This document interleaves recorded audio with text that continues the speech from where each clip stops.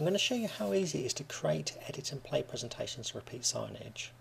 So we're going to start by clicking on presentations, create new presentation. Now my screen area is quite small because I'm recording these videos for the internet. So I'll click on create. And now what I'm going to do for a start is I want a playlist of pictures. So I'm going to click on insert, insert flash banner. I'm going to add from this computer select the first three pictures and open.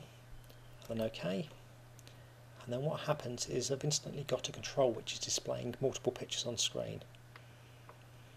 And all I want to do now is add a text label control to the bottom of this and type in my first presentation. And OK drag that to the bottom of the screen.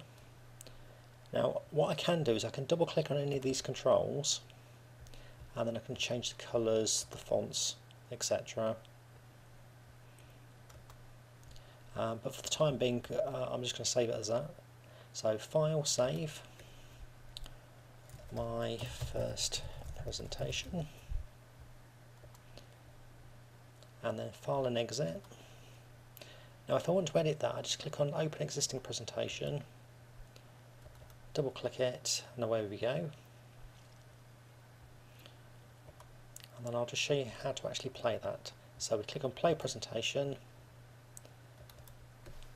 double click the file,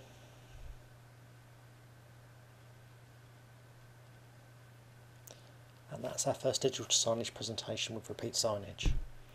Now if I want to close a player, I right mouse click and then select exit.